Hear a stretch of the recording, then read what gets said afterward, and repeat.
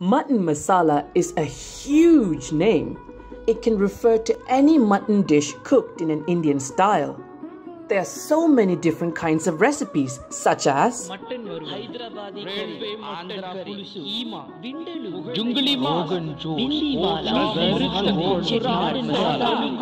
Really, there are hundreds. But today, we are going to look at my grandmother's signature dish, Atha's mutton masala.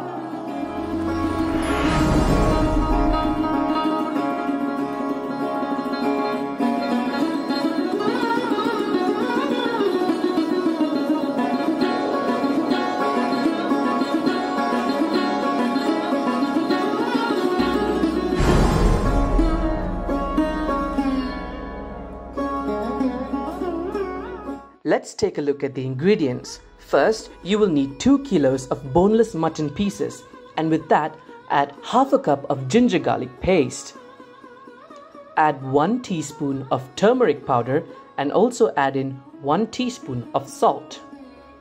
Gently massage all the spices together with the meat and let the meat marinate for a few hours. Now let's take a look at the other dry ingredients. You will need 2 tablespoons of cumin, 5 cardamom pods, 2 cinnamon sticks, 10 cloves, and 2 pieces of star anise. For the wet ingredients, you will need 2 tablespoons of red onion paste, 3 teaspoons of ginger garlic paste, 2 stalks of curry leaves, and also 8 candle nuts finely crushed with a mortar and pestle.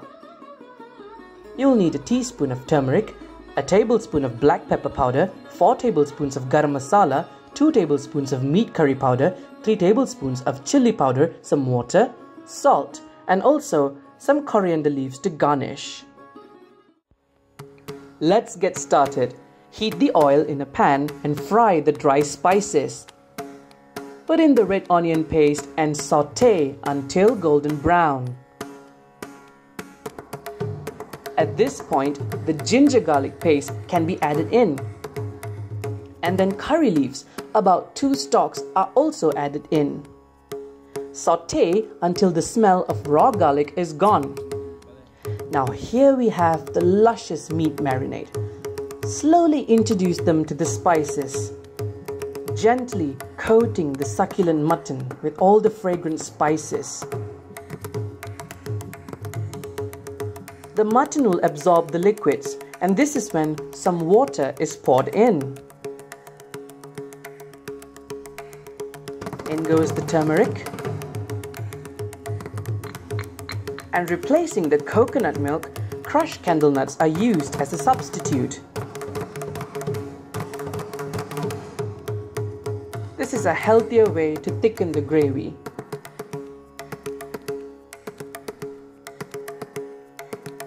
In a medium flame, let's let the mutton cook for a good 15 minutes. Now, let's turn this dish into a real masala.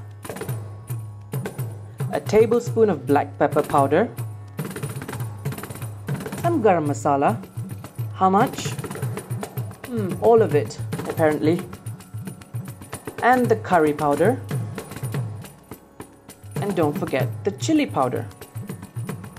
A good cook follows instincts, and it takes years of experience. We can watch and hopefully learn how much to put in. Some salt water to taste. And the next step, well, it requires a good eye. The right amount of water.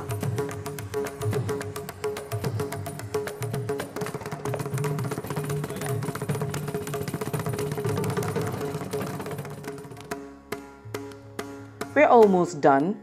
In a medium to low fire, let the mutton masala simmer for a while. Now, we are going to steal some of the rich meaty gravy, about 2 to 3 cups, to be used to flavor the biryani rice. That will be for our next recipe, so don't forget to watch that as well. There we go.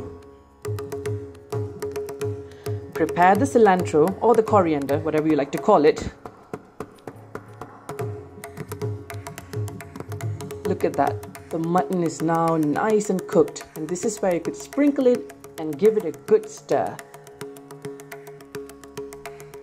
And there you go, my grandmother's signature dish, served during special occasions and festivals, and sometimes if you just want to have a good dish. Atha's Mutton Masala. Like and subscribe, and Dyaus channel will not disappoint you. Stay tuned for our upcoming videos. Thank you for watching. Cheers!